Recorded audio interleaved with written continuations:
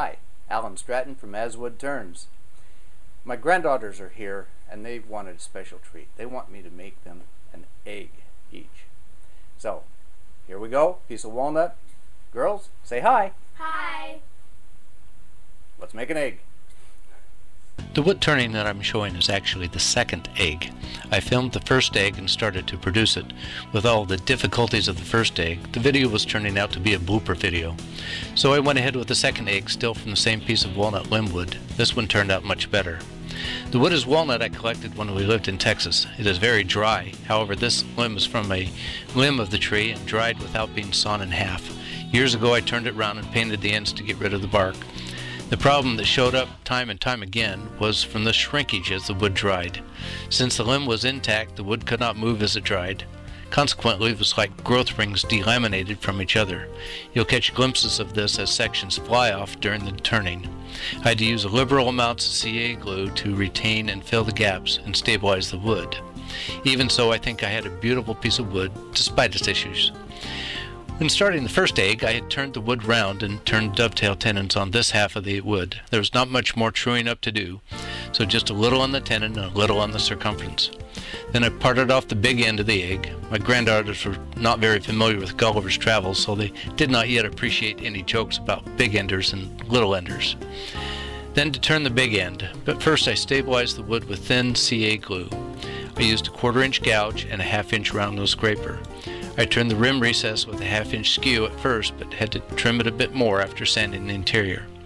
Then I finished the interior of the big end and mounted the little end back into the chuck. Most of the tools I used came with my original lathe many years ago. They were old when I acquired them, and they're probably older than I am. The little end went about the same. Trim the surface, then hollow out the interior. Despite being the little end of the egg, the interior goes a bit deeper into the egg. I had to stabilize several sections of the wood with CA glue. After the accelerator was applied, it showed white bubbles on the outside. I used a diamond point tool to trim, turn the rim. Alas, I overshot the fit on the rim between the two ends. It was too loose, so I turned it a bit shorter and redid the area. So the egg's bit, about a quarter inch shorter than it could have been. The, once the two halves could fit together again, I brought up the tailstock to stabilize the whole thing while I turned the interior exterior. I had just a little extra wood to accommodate the point on my tailstock center. I had to stabilize the outside of the big end again. I used a combination shearing, scraping, and shear scraping to sneak up on the final shape of the egg.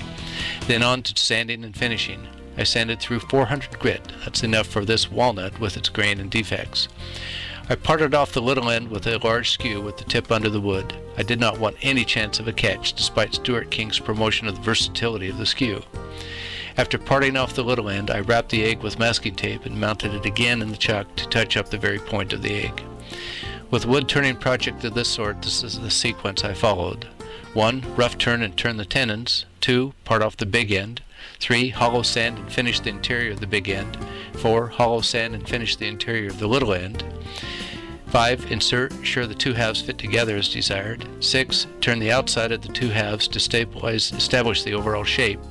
7. Finish the big end exterior. 8. Finish the little end exterior as much as possible. 9. Part off the little end. 10. Finish the little end tip. An alternative would have been to make a jam chuck from the little end. For this wood egg, this is enough. I used a lot of CA glue to stabilize the wood, but in the end the egg turned out nice. I think I'll make a nest of eggs from different woods. Maybe that's a good way to use the short scrap pieces that always tend to accumulate in my shop.